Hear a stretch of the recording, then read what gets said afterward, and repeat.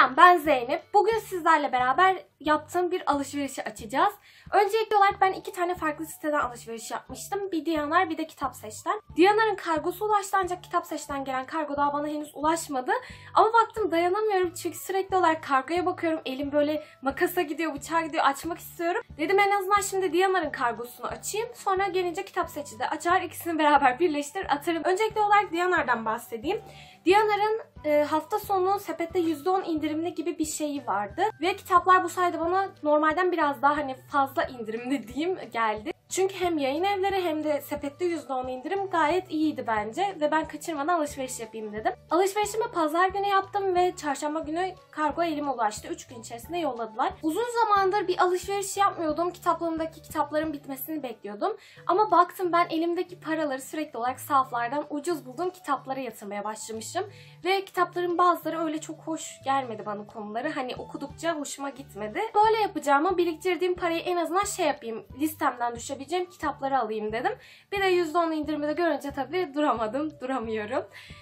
O zaman kargoyu açalım. Çok garibime gitti şu anda ya. Hani şu kargo açılım videolarını izliyorum ama hiç böyle kendimin çekeceğimi düşünmemiştim daha önce. O zaman başlıyoruz. Başka nerede var? Evet, şu an iyi olduğunu söyledim ama beceremiyorum gibi.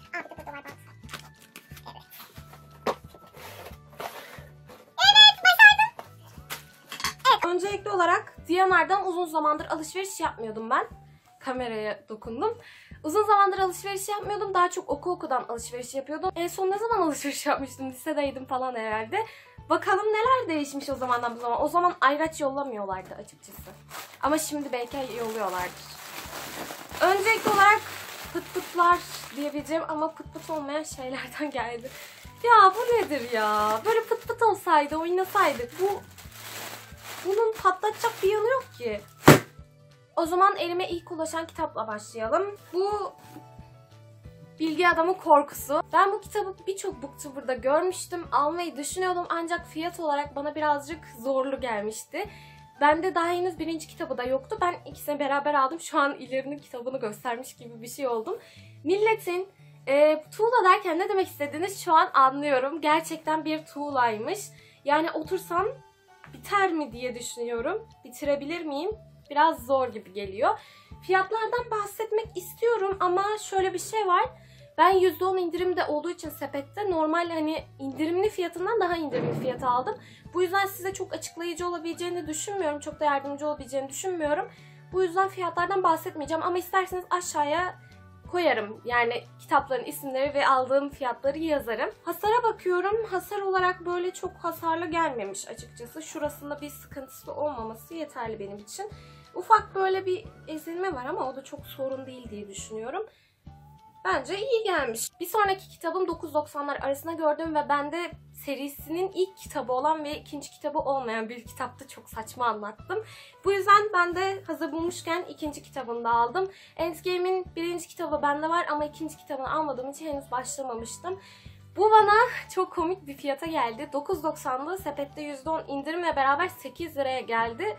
Ve çok hoşuma gitti ya. Keşke hep böyle Diyanar sepette %10 indirim yapsa dediğim oldu. Konusu hakkında biraz bilgim var ancak henüz daha başlamadığım için bir şey söyleyemeyeceğim size. Seriyi belki tamamlarım belki de tamamlamadan başlarım diye düşünüyorum. Bir sonraki kitabım az önce de söylediğim gibi Rüzgar'ın adı. Rüzgar'ın adı da çok kadın değilmiş aslında bilgi adamın korkusuna göre. Çünkü bu biraz daha onun yarısı gibi kalmış. Ama şey bakıyorum şu anda bakıyorum acaba bir sıkıntısı var mı diye hasarı.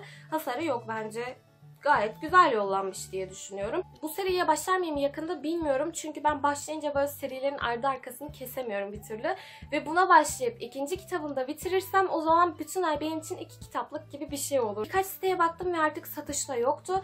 Bir booktuber demişti sanırım artık basımı mı kalmadı, basımı mı yapılmıyor öyle bir şeyler demişti. Hazır bulmuşken ikisini de aynı sitede bulmuşken hem de ikisini de toplayacak alayım dedim. Bence siz de düşünüyorsanız en yakın zamanda alın. Eğer gerçekten basımı yoksa bir daha bulmak çok zor oluyor. Ve geldik benim en gözde kitabıma. Bu alışverişin en favori kitabına diyeyim. Ben bu kitabı uzun zamandır almayı düşünüyordum ve almayı düşündüğümde 60 lira gibi bir fiyatı vardı. Bundan 2 yıl veya 3 yıl öncesinden bahsediyorum şu anda. Ve bir baktım fiyatlar 80'e falan çıkmış. Bayağı uçmuşlar. Sonra ben alamadım tabii bu kadar pahalıya görünce. Ama dedim niye olmasın? Niye duruyorsun? Bence kitaplığında olmalı diyerek aldığım bir kitap. Yüzüklerin Efendisi'nin tek cilt olan bu versiyonu gerçekten muhteşem ya. Muhteşem değil mi? Ben baktıkça gözümü alamıyorum şu anda. Bu böyle şeyiyle gelmiş, jelatiniyle gelmiş. Bence hiçbir hasarı yok ve önemli olan da bu kitabın hasarsız gelmesiydi benim için. Ve hasarsız gelmiş. Şu an kaldım yani. Bende Yüzüklerin Efendisi serisi yoktu. Ben almayı planlıyordum. Ancak böyle ufak ufak kitaplar olması yerine tek cildin daha iyi olduğunu düşünüyorum. Hem benim için koleksiyonluk gibi bir şey oluyor. Kitaplığımda koleksiyon kitabı bulundurmayı da çok seviyorum. Bu yüzden çoğu kitabın ciltlisini alıyorum zaten ya. Neyse oraya girmeyeyim. Okumak için sabırsızlanıyorum ancak bilgi adamı korkusu kadar bu da gözümü korkutuyor.